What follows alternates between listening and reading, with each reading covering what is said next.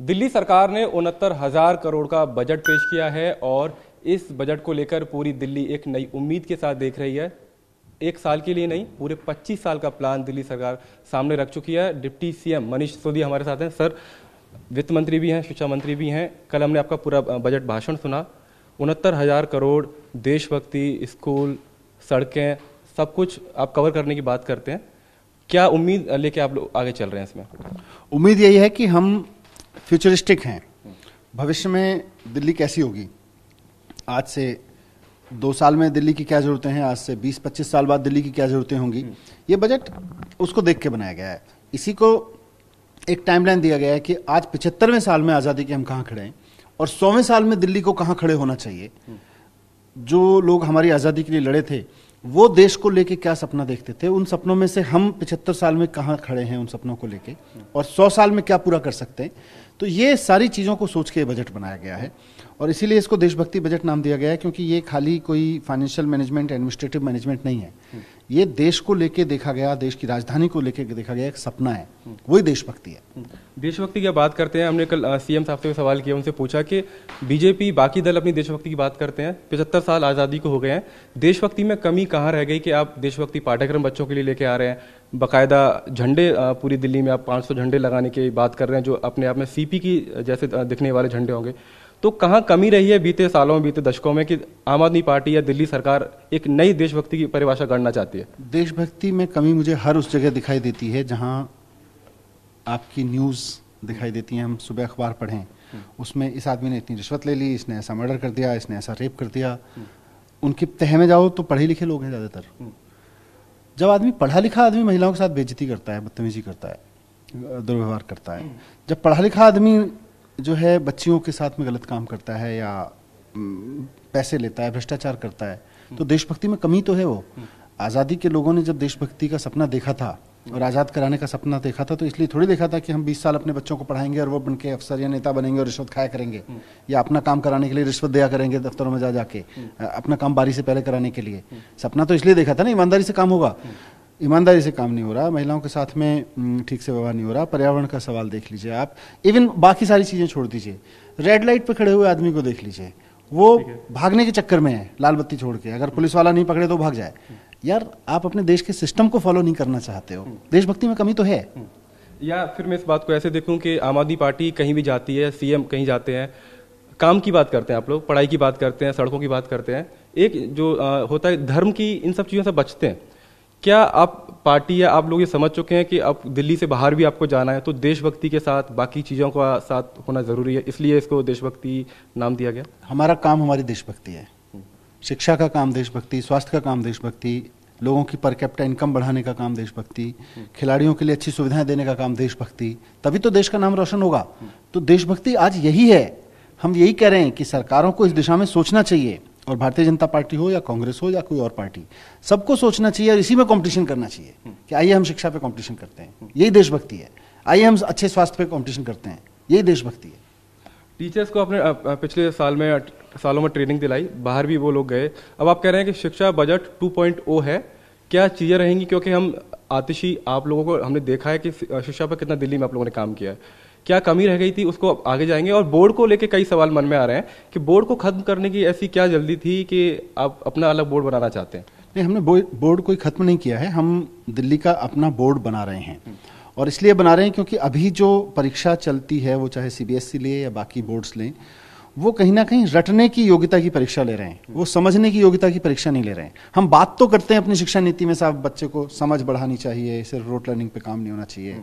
बच्चे को गहराई से समझ में आनी चाहिए चीज़ें। अरे, जब आप इस चीज़ पे मूल्यांकन ही नहीं करोगे तो समझ कैसे बनेगी? क्लासरूम में खड़ा होकर टीचर केवल वो पढ़ाएगा जो पिछले पाँच साल में एग्ज़ाम में पूछा गया था, आप शिक्षा नीति में चाहे जो लिख लो। आप लर्निंग आउटकम्स में चाहे जो लिख लो क्लासरूम में पढ़ाई तो पिछले पाँच साल के पेपर्स के आधार पे होगी। आप जो कर लीजिए।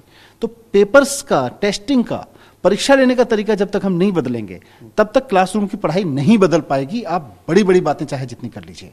इसीलिए हम एक नया बोर्ड बना रहे हैं ताकि वो इस तरह की परीक्षा मूल्यांकन शुरू करे। पहली बात तो वो तीन घंटे की एक परीक्षा ना हो।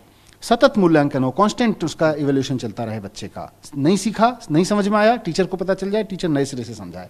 एक साल बाद बच्चा बाहर निकल जाता है क्लास से उसके बाद समझ में आया इसको ये पता चलता है नहीं आता आता है तब तक बच्चे में कमी आ चुकी होती है। आप नया अपना दिल्ली का बोर्ड बना रहे हैं और इसके आगे एक कदम और आप चले गए हैं कि वर्चुअल दिल्ली मॉडल स्कूल आप खोलेंगे जिसमें देश भर के बच्चे आके उसमें पढ़ सकेंगे। तो मैं फिर से उसी बात पे आता हूँ कि क्या आप ये विजन तय कर चुके हैं कि सिर्फ़ दिल्ली के बच्चे ही नहीं देश भर के बच्चे और वहाँ के उनके माता पिता पार्टी और अरविंद केजरीवाल मनीष सिसोदिया के टारगेट पर हैं। पढ़ाई ज़रूरी है सबके लिए? क्या वो विजन लेके आप लोग चल रहे हैं आगे? बिल्कुल। अगर उत्तर प्रदेश की सरकार अगर उत्तराखंड की सरकार वहाँ के लोगों को अच्छी शिक्षा नहीं दे पा रही है वहाँ के बच्चों को अच्छी पढ़ाई नहीं दे पा रही है तो एक वर्चुअल स्कूल खोल के दिल्ली मॉडल स्कूल उनके लिए भी अवेलेबल हो सकता है। लेकिन सिर्फ़ उनके लिए नहीं है। दिल्ली में भी बहुत सारे बच्चे इस चीज़ को तैयार हैं, बहुत सारे परिवार तैयार हैं। और ये एक ज़रूरत है आज, क्योंकि हमने जो स्कूल के मॉडल डेवलप किए, देखो out of the box thinking बहुत ज़रूरी है। नए सिरे से सोचना बहुत ज़रूरी है। हम ये कह रहे हैं कि हमने स्कूल चलाया, जो आज का स्कूल का मॉडल है, वो ये मॉडल है, और ये अच्छे चले, दिल्ली में इस पर खूब काम किया है हमने। मैं इसको खारिज नहीं कर रहा हूँ, इसकी अपनी एक महत्ता है। पर ये वाला जो स्कूल मॉडल है कि एक बच्चा होगा, उसको हम एक स्कूल के प्रांगण में लाएँगे, वहाँ उसको कुछ किताबें देंगे, एक टीचर होंगे, उसको पढ़ाया करेंगे, बीस साल में उसको भेज देंगे, जाओ भाई अच्छा हो गया। उसका मॉडल की सफलताएँ और विफलताएँ हमने देखी हैं। वो बच्चा कितना 360 डिग्री सीख के जाता है, उसको भी हमने देखा है। वो समाज से कितना जुड़ा होता है और कितना कट ऑफ़ होता है, वो भी हमने देखा है। वर्चुअल स्कूल बनाने का मकसद कहीं ना कहीं यह है कि बच्चा समाज में रह के सीखता रहे और स्कूल से उसको वर्चुअल गाइडलाइन मिलती रहे। समाज उसकी प्रयोगशाला हो। अभी हम लैब बनाते हैं स्कूल में अलग तरह की, दुनिया की लैब से उसका कोई लेना देना नहीं होता। कट ऑफ़ होता है। तो दुनिया की लैब में बंदा सीखे, बच्चा सीखे और स्कूल उसको फैसिलिटेट करे सीखने में। ये एक नए तरीके का प्रयोग होगा और मैं उम्मीद करता हूँ कि इसका दिल्ली के बच्चों को बहुत फ़ायदा मिलेगा, देश के बच्चों को भी फ़ायदा मिलेगा। वैक्सीनेशन की बात करते हैं क्योंकि पूरे बजट में शिक्षा और हेल्थ दोनों ऐसी चीज़ें थी जो पूरे बजट का अच्छा खासा हिस्सा शिक्षा पर और हेल्थ पर आप लोग खर्च करने की बात कर रहे हैं। वैक्सीन आप दिल्ली में लोगों को फ्री लगाएँगे प्राइवेट अस्पतालों को इसे बाहर रखा गया है, सिर्फ़ सरकारी अस्पतालों में ही क्यों? क्योंकि सरकारी अस्पतालों में जो आदमी आके अपना इलाज कराना चाहता है, उसको फ्री मिलना चाहिए। जिसको फ्री चाहिए, वो सरकारी अस्पताल में आ सकता है। जिसको लग रहा है कि मैं ढाई सौ रुपये अफोर्ड कर सकता हूँ या मुझे कोई दिक्कत नहीं है, वो प्राइवेट अस्पताल में चला जाए। पर जिसको, हमारा, मैंने एक बजट भाषण में भी बोला कि इस दिल्ली में ऐसे भी लोग हैं जिनके लिए ढाई सौ रुपये पे करना कोई बड़ी चीज़ नहीं है। चार परिवार परिवार में चार लोग हैं तो एक हज़ार रुपये पे करना कोई बड़ी चीज़ नहीं है। लेकिन इसी दिल्ली में ऐसे भी लोग हैं जिनके लिए परिवार के चार लोगों का मतलब है कि एक हज़ार रुपये निकालना, उसको तुरंत सोचना पड़ेगा कि मैं राशन खरीदूं या चार बच्चों को, चार परिवार के चार लोगों को वैक्सीन लगवाऊं। हम उसकी मदद के लिए खड़े कि चिंता मत करो, वैक्सीन सबको लगेगी। जो ढाई सौ अफोर्ड कर सकता है वो प्राइवेट में भी जा सकता है। जिसको लगता है ढाई सौ मुझे नहीं देने चाहिए, वो सरकारी में आ जाए। दो हज़ार सैंतालीस की बात करते हैं, सौ साल आज़ादी के पूरे हो जाएँगे। सिंगापुर के व्यक्ति के जो प्रति साल आय है उसके बराबर आप दिल्ली के व्यक्ति की आय करना चाहते हैं। ये विजन मन में कहाँ से आया? क्योंकि 25 साल काफ़ी लंबा समय होता है। कौन सी महामारी कब आ जाती है कब कुछ भी हो जाता है। ऐसा विजन आप लोग आगे लेके चल रहे हैं। पूरा हो पाएगा? अरविंद केजरीवाल जी आई से पढ़े हुए हैं। हम्म। उनकी सारी थिंकिंग बहुत साइंटिफिक होती है। चर्चा के दौरान ये एक विचार आया कि भाई दुनिया के बाकी शहरों में गवर्नेंस का विजन क्या है? या वहाँ की स्थिति क्या है? उसी क्रम में हमने देखा कि हमारी पर कैप्टा इनकम दिल्ली की पर कैप्टा इनकम पूरे देश की पर कैप्टा इनकम से तो तीन गुना ज़्यादा है। लेकिन अब एशियन कंटे बाकी शहरों को छोड़ दीजिए यूरोप और अमेरिका के। एशियन कंटेक्स्ट में देखें तो सिंगापुर हमारे नियरेस्ट है, जो एशियन परिस्थितियों में एक आगे बढ़ा हुआ शहर है। तो सिंगापुर में आज की तारीख में पर कैप्टा इनकम है चौंतीस लाख रुपए। भारतीय रुपए में देखें तो। हिंदुस्तान में दिल्ली में अभी पर कैपिटा इनकम है पौने दो लाख रुपए। तो आज लगभग लगभग ग्यारह गुना का अंतर है। हमने पिछला ग्रोथ देखा, उनका हमें लगा 25 साल बाद जितनी सिंगापुर के पर कैपिटा इनकम होगी, उतनी पर कैपिटा इनकम में हमारे यहाँ 16 गुना का अंतर होगा। तो आज देश की लीडरशिप को, मैंने दिल्ली की लीडरशिप को यह सोचने की ज़रूरत है कि हमारे लोगों की पर कैपिटा इनकम कैसे आगे बढ़ेगी। उसके लिए वो नीतियाँ, वो इंफ्रास्ट्रक्चर वो वातावरण, वो ट्रेनिंग्स उस तरह का मार्केट हम खड़ा करेंगे। अगर हम उस दूर का सपना नहीं देखेंगे तो उलझ के रह जाएँगे। पॉलिटिकल क्वेश्चन तो नहीं है, लेकिन क्योंकि उत्तराखंड में आप लोग ये कह चुके हैं कि हम चुनाव लड़ेंगे, और पॉलिटिकल हो जाता है क्योंकि आप यहाँ बजट पेश कर रहे हैं। कैसे देखते हैं पूरी जो चीज़ें वहाँ पर हो रही हैं, आप लोग वहाँ चुनाव लड़ने जाएँगे? कोई भी सरकार एक कार्यकाल को छोड़ के पूरा अपना पाँच साल कार्यकाल पूरा नहीं कर पाई है।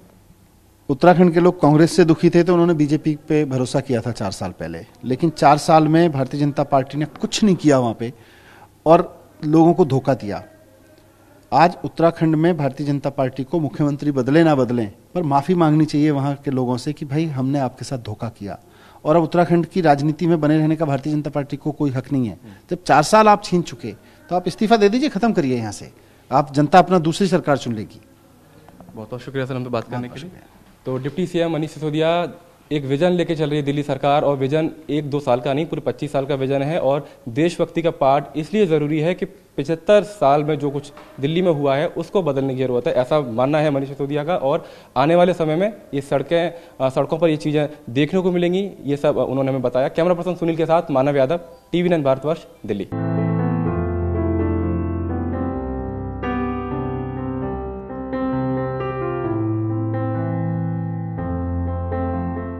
फ़िक्र आपकी।